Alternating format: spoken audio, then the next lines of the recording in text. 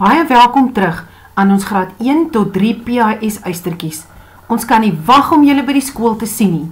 Hierdie video gaan vir jou presies vertel wat jy moet doen wanneer jy terugkom skool toe. Met jou aankoms by die skool, gaan mamma en pappa vir jou met die motor aflaai by een van die twee hekke. Die jongste graad gaan altyd by die groot hek afklim en die oudste graad altyd by die boonste hek. Onthou wanneer jy uitklim, masker op jou gesig, oor jou neus en oor jou mond. Met jou tas die eerste dag stap jy tot op die kol. Daar gaan die juffrou vir jou wag. Jy staan baie mooi op die kolle wat daar gespuit is, die wit kolle en wag totdat die juffrou jou roep. Op die linkerkantste foto is die kinders wat by die groot hek gaan staan. Op die regterkantste foto gaan die ouer graad wees en hulle staan op die wit kolle op die sypaadjie teen die draad. Wanneer jy by die skool aankom, gaan die juffrou eers jou hande reinig. Jy stap, sit alles neer, sy spuit jou hande met reiniger en sy meet jou koors. By die een video kan jy sien hoe jy by die groot hek aankom en by die volgende video sal jy sien hoe jy by die klein hekkie aankom. Stap mooi vinnig sodat ons vinnig almal binne in die skool kan kry. Onthou, sit altyd alles neer, wag vir jou hande, wag vir die juffrou om jou koors te meet.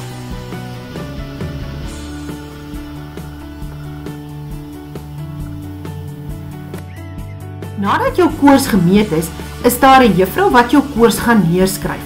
Maak seker dat sy jou koors eers neerskryf voordat jy vinnig na jou klas toe beweeg. Ons weet nou dat die graad 1s altyd by die onderste hek sal inkom, want hulle gaan altyd die jongste graad wees. Daarom gaan hulle reguit na hulle klas toe stap deur hulle eie deur by juffrou Isa se klas. Die graad 3s gaan altyd by die boonste hekkie ingaan en daarom sal hulle deur die dogters of seuns badkamer stap by die trappe daar by juffrou Isa se klas opstap en vinnig na hulle klas toe stap. Die graad 2's gaan skuif tussen die groot hek en die klein hek. Wanneer hulle saam met die graad 1's kom, sal hulle by die boonste hekkie ingaan, weer deur die badkamers. Wanneer hulle saam met die graad 3's kom, kom hulle ook by die groot hek in, maar dan stap hulle by hulle eie buitedeur daar by juffrou Hester se klas in, reguit na hulle klas toe. Voor jou klas is daar duisende kolle geverf. Jy moet op een van daardie kolle gaan staan en die kol moet so tussen jou voete wees. Jy mag nie nou rondloop of op en af spring nie. Jy staan doodstil.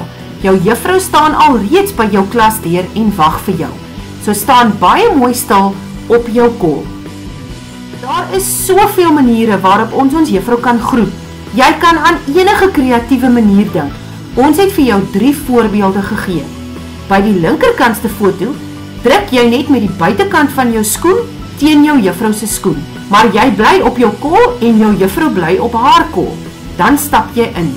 Die middelste foto is 'n dab. Julle weet mos wat 'n dab is. So jy mag maar dab. Die laaste foto is wanneer jy net vir jou juffrou waai. Wanneer jy jou juffrou klaar gegroet het, stap jy in jou klas in en soek die tafel waarop jou naam geplak is. Jy stap reguit na jou tafel toe, sit jou krat of jou bierboks aan jou een kant van jou tafel neer, jou tas bære jy onder jou tafel en dan gaan sit jy doodstil op jou stoeltjie. Moenie jou stoeltjie skuif na die middel van die tafel nie, want dan is ons sosiale afstand nie meer groot genoeg nie. Sit doodstil daar. Op die regterkantste foto kan jy sien dat al die tafels en stoeltjies 1,5 meter uitmekaar gepak is. Dit is vir julle veiligheid. Op die tafel het alle maatjies hulle handreiniger neergesit en dan in hulle boks of in hulle krat is hulle skryfbehoeftes, boeke en flipfiles reeds gepak. Jou kossakkie kan jy ook daar neersit of jy kan dit onder jou bank by jou tas neersit.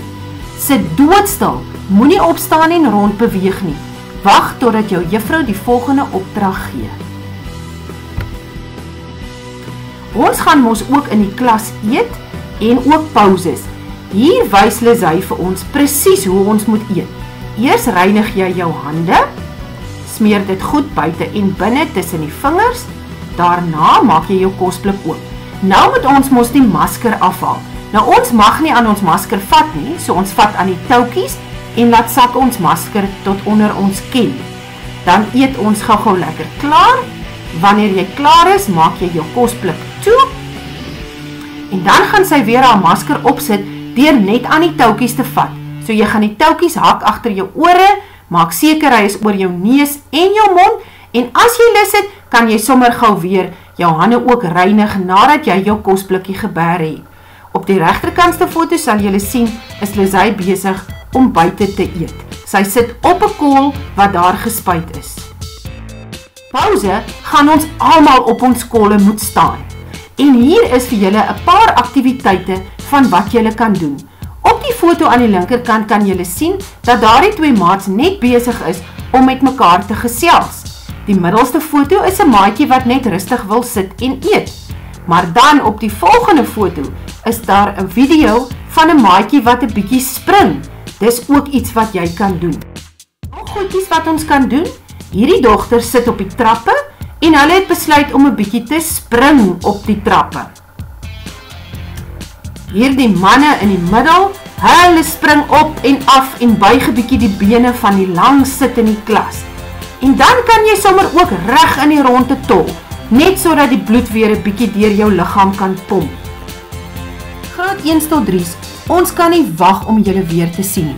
Gebruik hierdie laaste paar dae sodat jy alles kan regkry. Onthou, jy moet 'n masker hê wat goed pas. Hy moet jou neus sowel as jou mond baie goed toemaak. Dan het jy 'n sakkie nodig waarin daar 'n ekstra masker en 'n lappie is. Onthou om al jou skryfbehoeftes in te pak. Net die eerste dag gaan jy jou tas bring. Daarna gaan ons alles in die klas los. Jy gaan met 'n leë tas daai dag huis toe. Want ons wil aan die einde van elke dag jou tafel vir jou weer goed reinig, jou stoeltjie reinig en ook sommer al julle boeke en skryfbehoeftes reinig. Daarom maak seker dat jy ook skryfbehoeftes by die huis het vir wanneer jy ietsie by die huis wil oefen. Jy moet lekker rus en veilig wees.